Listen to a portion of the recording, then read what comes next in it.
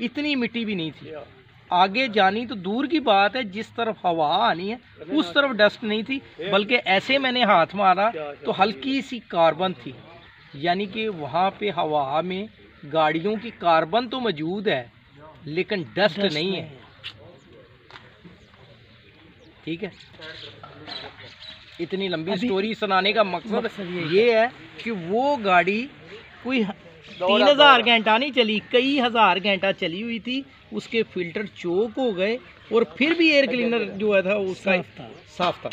उसमें मिट्टी नहीं थी। और हमारे इधर आप गाड़ी में एयर क्लीनर लगाएँ और लगा के उसको एक चक्कर लगा लाएँ एयर क्लीनर मिट्टी से भर जाता। है इसलिए हमें गाड़ियों में डबल एयर क्लीनर और डेली इनको क्लीनिंग की ज़रूरत है।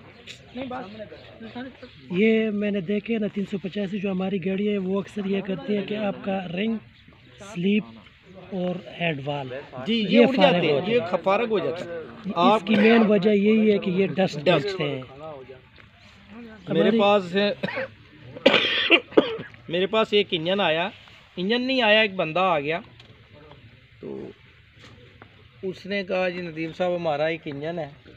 तो उसको हम तीन चार बार ओवरहाल कर चुके हैं।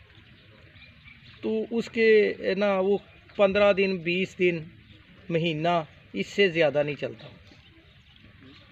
मैंने उनसे पूछा क्या है? कहते रिंग भी उड़ जाते हैं स्लीवें भी उड़ जाती हैं पिस्टन भी ख़राब हो जाते हैं?